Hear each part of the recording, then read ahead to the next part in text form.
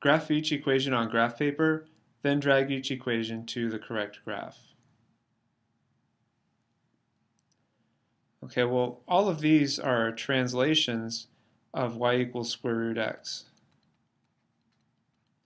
So I'm going to show you how to graph the parent function, which is y equals square root x, and it's called the parent function of these other translated functions. Then we'll talk about the translation. So let's do x and y. And we could use function notation f of x instead if we wanted to. Inputs for x, 0, 1, 4. And I'm picking perfect squares because the outputs are easier.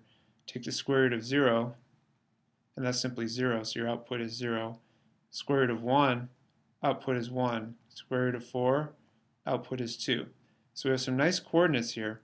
I'm just going to put those on this first graph here, 0, 0, 1, 1, 4, 2. Okay, so this would be our graph for y equals square root x. And that's the parent function for all four of these graphs. So really all we need to do is we need to figure out the translations and match them up. Now, this one, the translation would be moving all the points 2 up. And if you were to finish this graph on paper, you would just translate the points 2 up and draw your curve like this. And make sure you put a little arrow on the end there. It looks like that was forgotten on all of these. Should be an arrow.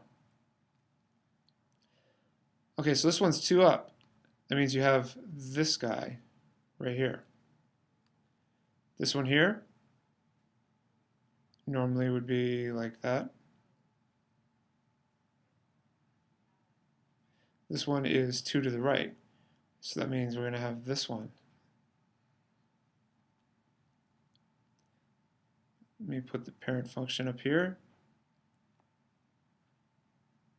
You can see this one was shifted down 2. So this one goes here.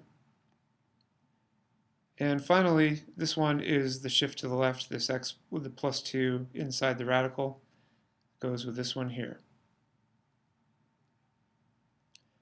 Okay, so hopefully you're starting to see the connection between this notation with the translations and the way the translation looks on the graph.